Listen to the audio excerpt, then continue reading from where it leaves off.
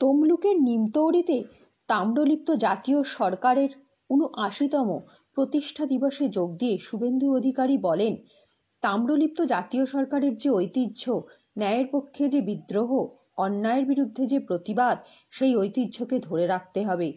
যারা স্বাধীনতা সংগ্রামের ইতিহাস জানেন না, যারা শুধু ভোট চাই, ভোট দাও, ভেঙে দাও, জ্বালিয়ে দাও, গুঁড়িয়ে দাও বলে থাকেন, তাদের শুধু ওই পরিধির মধ্যে থাকলেই চলবে না।